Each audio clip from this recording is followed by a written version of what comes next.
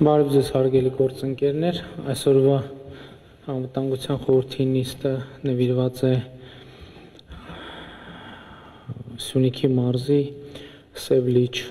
տեղանքում եւ հարակից տարածքում տեղի ունեցող իրադարձություններին այսօր առավոտյան Ադրբեջանի զինված ուժերը այդ տեղանքում հատել են Հայաստանի Հանրապետության պետական սահմանը եւ խորացել մինչև 3.5 կիլոմետր եւ ըստ էության փորձ են անում բարփակել Սև լիճը եւ իհարկե այս գործողությունները անհանդուրժելի են Հայաստանի Հանրապետության համար, որովհետեւ դա ոտնձգություն է Հայաստանի Հանրապետության ինքնիշխան տարածքի նկատմամբ Եվ իհարկե առանձին քննարկման առարկա է, թե ինչու եւ ինչպես է հնարավոր դարձել նման գործողությունը, բայց պետք է արձանագրել, որ սա իր բնույթով ըստ էության դիվերսիոն անցում է եւ պետք է նաեւ արձանագրել, որ մենք զինված ուժերը վաղ առավոտից արձագանքել են տեղի ունեցող իրադարձություններից իրականացվել են անհրաժեշտ մարտավարական տեղաշարժեր եւ այլ գործողություններ, բայց հարկ է արձանագրել, որ իրավիճակի շուրջ նաեւ ադրբեջանական զինված ուժերի գործողությունները չեն զուգորդվել հրաձգային կամ որևէ այլ զենքի կիրառմամբ եւ նրանք փորձում են հիմնավորել իրենց գործողությունները ինչ որ քարտեզներով, որոնք մեր առաջին իսկ դիտարկմամբ մտածած են եւ կեղծ են, որովհետեւ մեր տրամադրության տակ է դեռևս խորհրդային միության ժամանակներում սովետական Հայաստան եւ սովետական Ադրբեջանի միջև հաստատված եւ նաեւ կենտրոնական իշխանության կողմից հաստատված քարտեզ, որտեղ հստակ երևում է,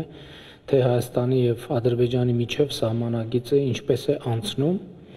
այնուամենայնիվ ես ասացի որ ստեղծված իրավիճակը անընդունելի է Հայաստանի Հանրապետությունը չի կարող ուղակի համակերպվել ստեղծված իրավիճակի հետ բայց նաև հաշվի առնելով իրադրությունը մեր առաջնային ծրագիրը բանակցությունների միջոցով նաև դիվանագիտական եղանակներով այս խնդիրը լուծելն է բայց սա տարբերակներից մեկն է ես ուզում եմ մենք հստակ արձանագրենք որ որևէ կերպ չենք կարող հանդուրժել եւ համակերպվել ստեղծված իրավիճակի հետ եւ այսօր մենք անվտանգության խորհրդի նիստում պիտի քննարկենք այս պահին արկա իրավիճակը եւ մեր հետագա անելիքները հնարավոր սցենարները եւ այդ սցենարների միջև արկա ներքին փոխկապակցվածությունները հարկ եմ համարում ընդգծել, որ ինչպես եւ կարելի էր ցավոք սпасել, իրավիճակը նաեւ ներքաղաքական շարժումների առիթ է դարձնում եւ դարձել եւ ես ուզում եմ կրկին անգամ կոչ անել, որ արտաքին անվտանգության հետ կապված իրավիճակները փորձ չարվի օգտագործել ներքաղաքական նպատակների համար, որովհետեւ որովհետև սա ազգային անվտանգության հարց է եւ տվյալ իրավիճակում մեզ պետք է կենտրոնանալ խնդրի եւ նրա լուծման վրա